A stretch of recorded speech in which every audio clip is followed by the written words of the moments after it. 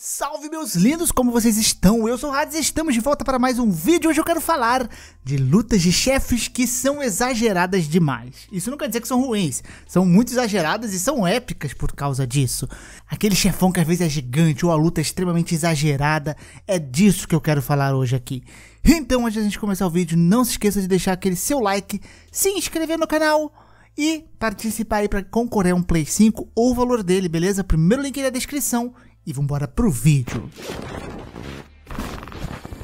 Por que não começar com Cronos versus Kratos em God of War 3?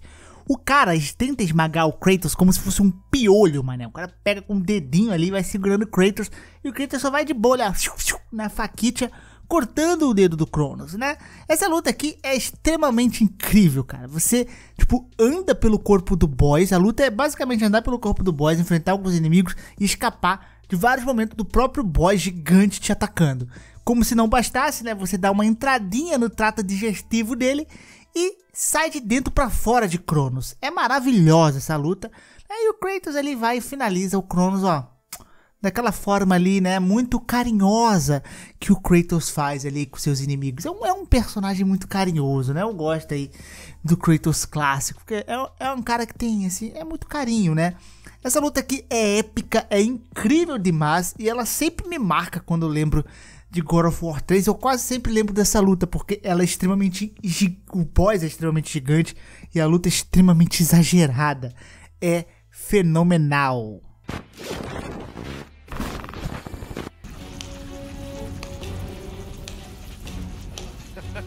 Bravo! Bravo! Tá aplaudindo ele? Estou sendo sarcástico. Mas ele sabe que é sarcasmo? Sim!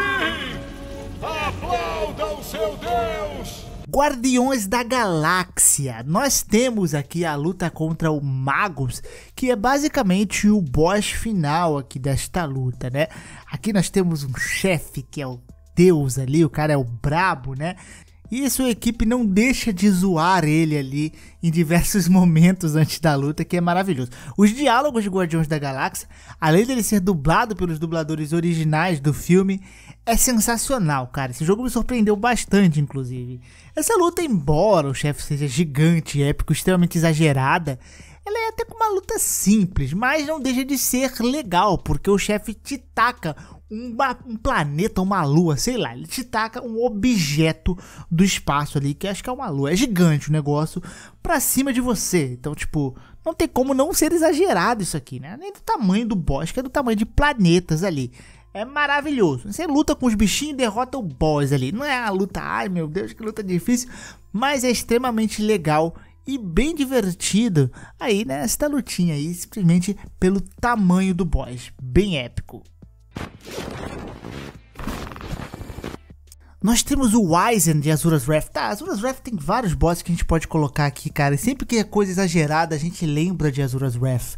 Que é um hack slash que ficou bem esquecido. Eu adoraria que esse jogo fosse relançado aí com a versão completa, né? Que ele teve a polêmica da DLC vendida no final e tal.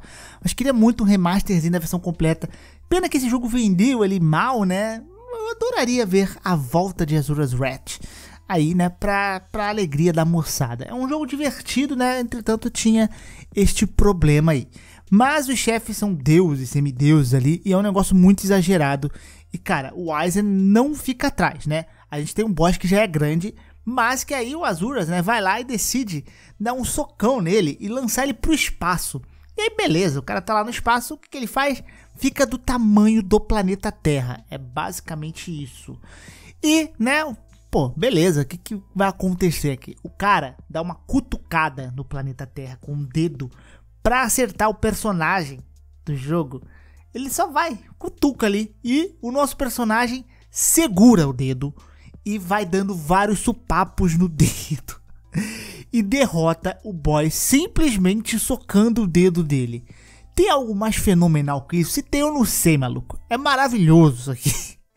É muito sensacional e é uma das lutas exageradas minhas favoritas dos videojogos. Acho épica e bela demais. Cara, derrotar o cara batendo na unha dele. É maravilhoso, é maravilhoso demais. Uma luta recente que não pode faltar aqui é a luta do Leviathan, do Final Fantasy XVI onde, né, nós enfrentamos ali aquele pássaro bonito na nossa forma de kaiju, né, na nossa forma de Ifrit, que é luta de bichão mesmo.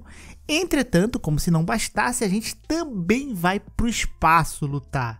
Pois é, a gente luta fora do planeta, a luta se escala em proporções tão gigantes que você é lançado para fora do planeta e você, como Ifrit, junto com a Fênix, vai lutar no espaço. É uma luta linda, bonita e extremamente épica, cara. E vale uma menção honrosa de um outro chefe dessa luta que é o Titan, né? Que simplesmente você é um piolho do tamanho dele e ele é um monstrão de pedra gigante que também tá ali pra te acabar com a sua vida, né? Com a sua raça. E é também outra luta muito bacana desse jogo aí. Então vale essa menção honrosa aí. Porque o Final Fantasy tem muitas lutas exageradas, mais ou menos, estilo Azuras Wrath, né? As Azuras Wrath estão alguns degraus acima, mas também chega lá, vai. Jubileus de Baioneta. Pois é, aqui nós temos uma luta com um chefe que por si só já é uma deidade gigante, né? E a gente luta com o nosso personagem aqui, enfrentando ele, de, atacando diversos pontos fracos deste boss. Bayonetta por si só é um jogo de hack slash bem exageradinho em vários pontos, né? É muito bacana o combate desse jogo. E a luta final aí contra o Jubileus não fica atrás, né? É um chefe enorme já, assim, bem grande. Você precisa atacar, derrotar os pontos fracos dele. Diversas coisas vão acontecendo na luta no cenário. Mas, né, por que derrotar esse chefe aí, né, da forma casual, né? É, ataca os pontos fracos e derrota, derrota no supapo. Não, não. O jogo não está satisfeito com isso. O nosso personagem, né, a Cereza precisa ficar gigante lá, na forma de cabelinho, e dar um supapo no boss, que ele vai ser lançado pelo sistema solar e vai ser jogado simplesmente dentro do Sol. Pois é, aqui não tem micharia, não tem, ah, vou derrotar o chefezinho, de, depletando o HP dele ali, né, tirando o HP dele. Não, você pega e lança ele no Sol. Simplesmente assim, é fenomenal. E a luta acaba, o jogo acaba. É incrível, é linda essa luta aí, né? Por que não lançar um boss no sol, cara? É maravilhoso. Eu gosto, eu gosto dessa ideia aí. O Dragão Divino de Sekiro. Essa luta aqui, embora ela seja a luta mais tranquila do jogo, ela é até bem scriptada. Não dá para negar que essa luta é bonita e é épica, né, cara? A gente enfrenta no meio das nuvens ali um dragão gigante com uma espada gigante tacando rastros de vento em você.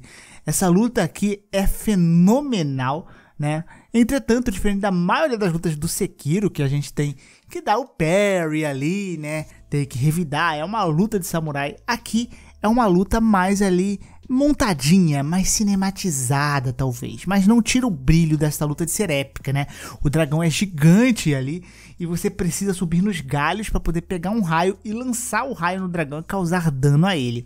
Muito massa essa luta e ela é muito marcante pela sua beleza e estilo. É fenomenal. Para finalizarmos, nós temos o Phalanx de Shadow of the Colossus. Tá, Shadow of the Colossus tem diversos chefes épicos, tá? para colocar quase todos os chefes aqui, mas, cara, o Phalanx é uma das minhas lutas favoritas de Shadow of the Colossus porque ela é muito épica, né? É um boss gigante voando e você precisa fazer ele diminuir a altura ali, né? Quando ele tá voando, para você conseguir subir e acertar os pontos fracos. Ao mesmo tempo que você tá lá nos altos, assim, ele gira, né? Tipo um avião, ele gira ali 360 graus, você tem que se segurar. É um negócio fenomenal. É muito bela essa luta aqui. E é um sentimento assim de, cara, eu sou muito pequeno pra este boss aqui. Porque, cara, ele tá no, nas alturas ali comigo, eu tô tentando derrotar ele. É incrível, cara. É uma das melhores lutas de Shadow of the Colossus, eu acho. Mas pelo menos é uma que me marca muito aí pelo estilo. É muito épica e você se sente muito piquititinho ali em relação a este boss. Por isso que eu gosto dela. E meus queridos, esses aqui são os chefes. Eu espero que vocês tenham gostado. Não esqueça de deixar aqui nos comentários quais chefes aí que vocês também acham que foram muito épicas as lutas e que eu não comentei aqui. Um grande beijo, um grande abraço, um beijo no popô, até a próxima e tchau!